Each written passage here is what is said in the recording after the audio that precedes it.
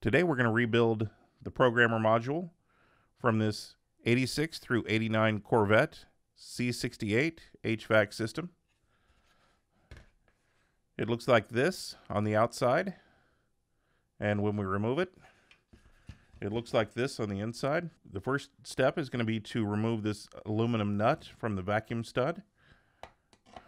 We're going to use a 9 32 inch nut driver We're going to set that aside, press the bolt out, and set that aside. This is a quarter inch uh, hex screw. Some boards have one of these, some have two. Our board has two. And we're going to go ahead and remove those. We'll set those aside. We'll pull out the circuit board assembly and set the case aside. This particular unit it looks pretty rough. Some of the uh, factory air filters have started to disintegrate. I don't see any cracks in the vacuum tubing. I don't see any cracks in the vacuum fitting, so we're fine there. The primary failure on these is the blend door drive circuitry. It, that's going to be the circuitry located in this area of the board. So we're going to remove the manifold we're just going to lift up.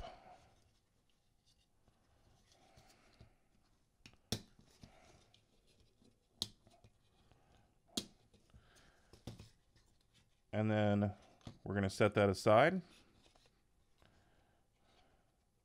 Good. That gets us access to the circuitry that we need. Uh, another source of failure, this electrolytic capacitor shorts frequently.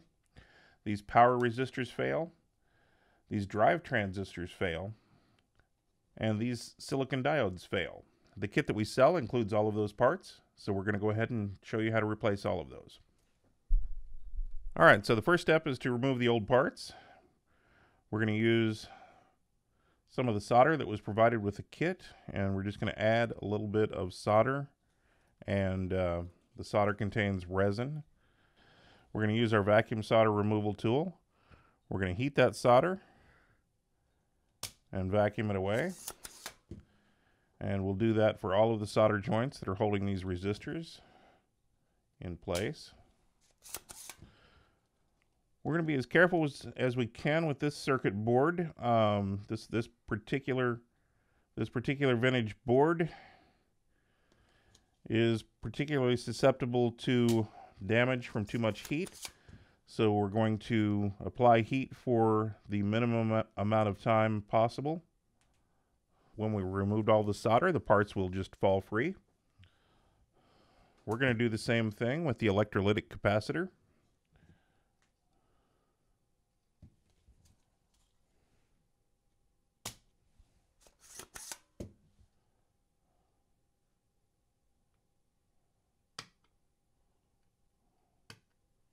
We're going to remove the two transistors just below those power resistors.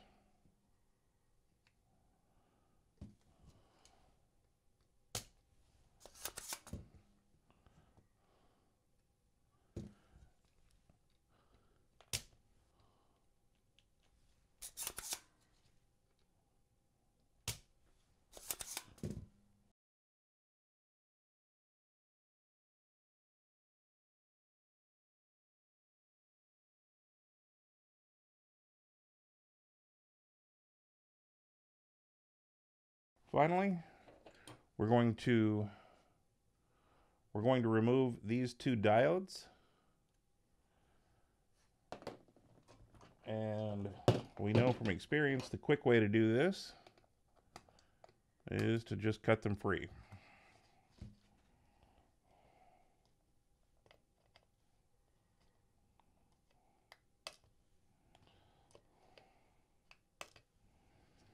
Okay. We'll take all the old parts and set those aside. We're going to go back and clean out the holes for the diodes.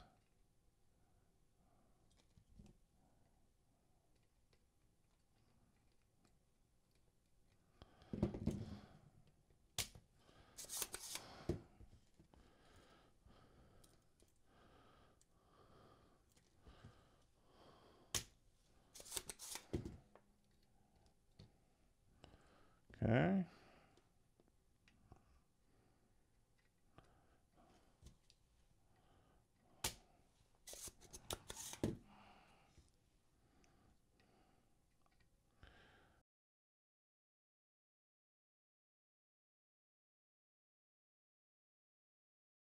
If we have any uh, solder remaining over the holes, we'll just clean that up now. We'll get ready to install the new parts. The first step is to install the new capacitor. We're going to use a lead bending jig. We can bend these with a pair of needle nose pliers, it doesn't really matter. We're going to bend those at the one inch mark, one inch between the leads and we're going to install the capacitor. If we look at the board, we see a plus marking on the right side. We'll make sure that the crimped end of the capacitor, which is marked positive, goes that direction. We'll put that capacitor in place, and then we will bend the leads apart slightly, and that just holds the capacitor in place while we solder it. To solder the new component in, we're going to heat the junction between the lead of the capacitor and the pad. We're going to feed in a small amount of fresh solder. And we're going to remove the heat. We'll do the same thing on the other side.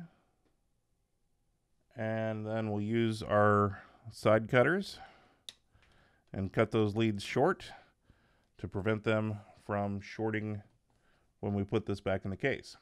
Next, let's put the transistors in. We can see the old transistor on the left and the new transistor on the right. Um, I've uh, bent the leads of the new transistor using a pair of needle nose pliers so that they look like the, the leads on the uh, old transistor. Essentially, I have uh, bent the leads, the outside leads apart slightly, and I've bent the center lead forward slightly so that they form sort of a triangle pattern. That matches up with the triangle pattern that we see in the board. So we're going to put those transistors in place. And we'll bend the leads apart slightly to hold it in place.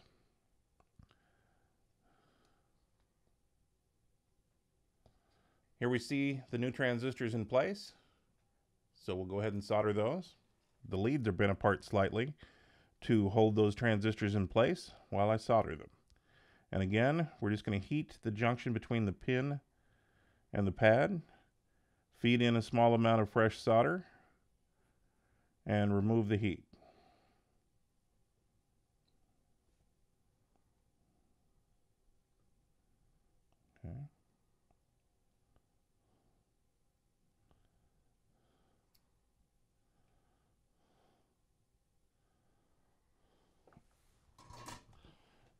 Good. So we'll clip those leads short.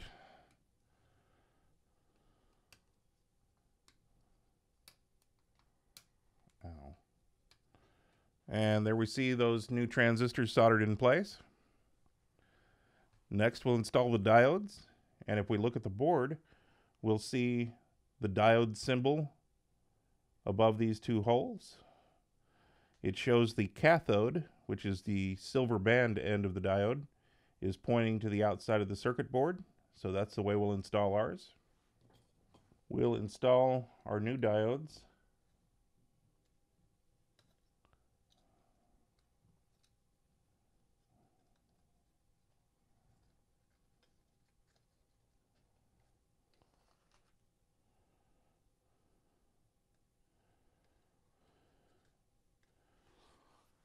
And again, we see the silver band is pointing toward the outside of the board in both cases. We'll bend those leads apart slightly to hold those diodes in place. And then we'll solder them in place. We're going to heat the junction between the pin and the pad, feed in a small amount of solder, and then remove the heat.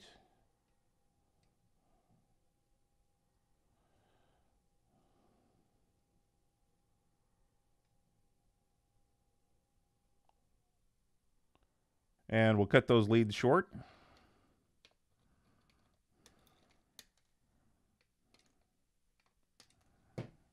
Next, we'll install the two power resistors. Uh, we want to make sure that we install these resistors as close to the board as we possibly can. I know it looks like they're damaging the circuit board, but they are charring it, but they aren't really damaging it. And then we'll bend those leads apart to hold everything in place. All right, and we'll solder those in place. Just like we soldered the other components.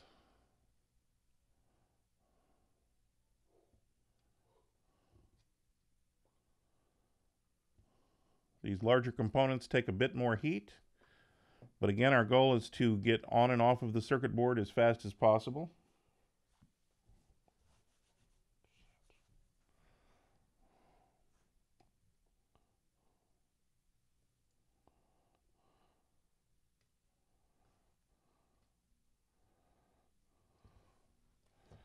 All right, and we're just going to make sure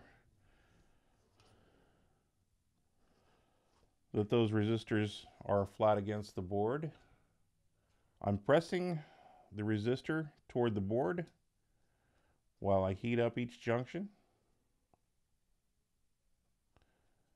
And that's hot. That ensures that the resistors are sitting flush against the board. The reason for this is we don't want vibration to move the resistors and damage the board over time. And we'll clip those leads short.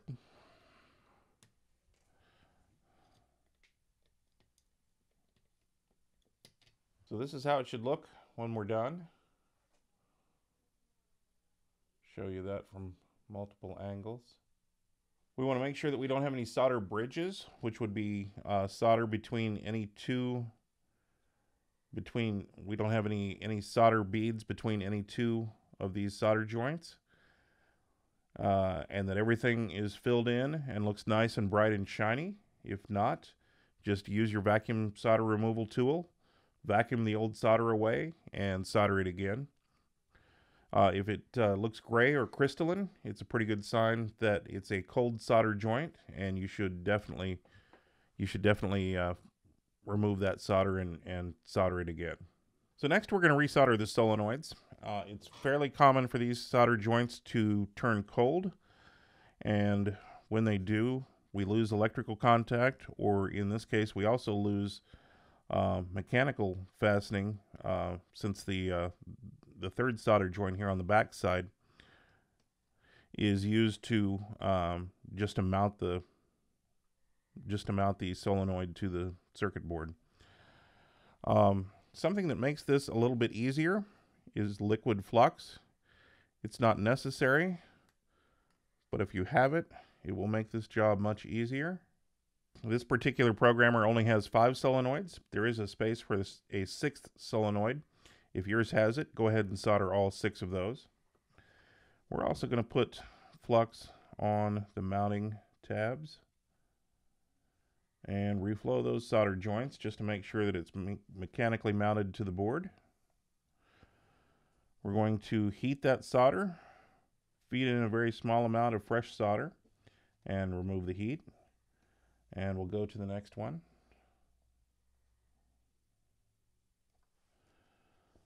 Uh, I'm I'm leaving the heat on just a bit longer because we are soldering directly to the uh, metal frame of this the solenoid and that uh, that heat sinks away some of the, the heat that our soldering iron is providing. Next, we're going to reflow each of the solder joints for the electrical connections of the solenoid. There are two of these for each solenoid.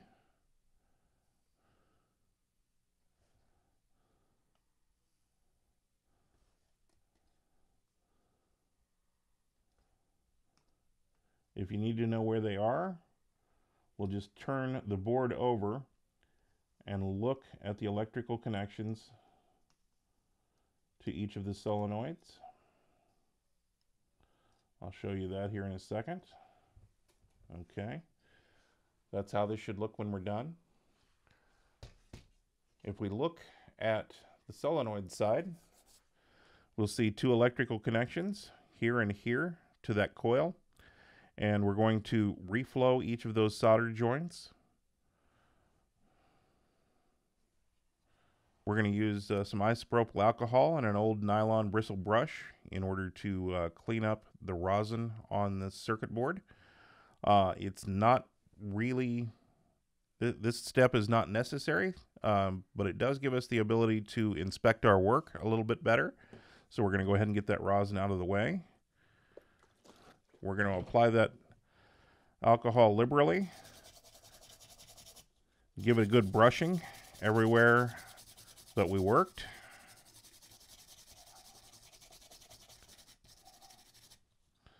It might take two or three attempts before all of the flux comes off of the board. Just to speed things up, we're going to use some compressed air to dry the board. So here's what our work looks like now. Again, we see nice, bright, shiny solder joints. The holes are completely filled in. If we see anything else, now is the time to now is the time to remove that old solder and resolder it. Next, we'll put the vacuum lines back. We're going to put the vacuum manifold back. If we notice, the vacuum manifold covers all but one of these solenoids. Once we get that lined up, it's hard to see, but once we get that lined up, we'll push the manifold back into place. This is just a press fit. We'll make sure the other lines are secure at both ends. And everything looks good here. Let's go ahead and put this back into the case. We'll reinstall the circuit board assembly back into the case. We'll put this bolt right in the center of the vacuum lines. And we'll hold that while we're putting the nut back. We're going to use a 9 32 inch socket or nut driver to reinstall that nut. That doesn't need to be too tight. The parts kit comes with a washer and a new nut. The intent of this is to replace the um, the vacuum line keeper if yours happen to get damaged while you were taking the programmer out. Next, we're going to reinstall the screws that hold the circuit board in place. This is a little bit easier if you do it upside down. We're reinstalling those with a quarter inch socket. And there we see the rebuilt programmer. Next, let's go ahead and test this. So the first purpose of the programmer is to drive the blend door motor. We're going to, in order to test that, we're going to, we're going to set auto mode and we're going to choose 60 degree set point. And we should see the blend door motor move toward the cold side, which is up. It's at about 10 o'clock position. Next, we're going to choose full hot. We're going to make sure that blend door motor moves full hot, which should be about the 5 o'clock position. Okay. That's somewhere between 4.30 and 5 o'clock position. Next, we're going to choose a temperature that's about halfway in between. We should see the blend door motor stop somewhere in between those two, and we do. Okay, so the drive circuitry is working as it should now. The, the second purpose of the programmer is to drive each of these solenoids on and off. I've set my multimeter to DC voltage and we're just going to check the voltage across each of those solenoids. When the solenoid is on, we should see battery voltage. When the solenoid is off, we should see zero volts. So we see that solenoid number one is not energized. Solenoid number two is energized. Solenoid number three is energized. Number four is not. Number five is not. Next, we're going to set full cool.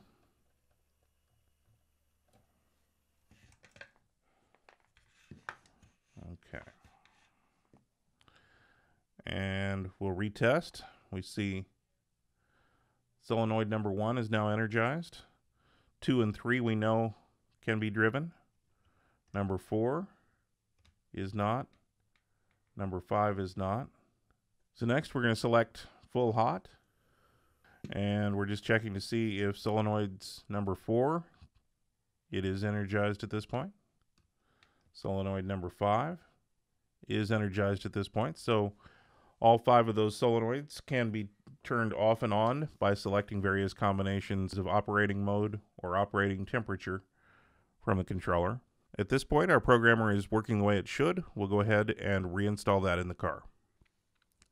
We'd like to thank you for watching. If we've helped you, we'd appreciate it if you would check out our web store. That is uh, batee.com. There'll be a link below where you can find the tools and the parts that we've used to do this repair. Thank you very much. Thanks to your support, 10 Americans have jobs.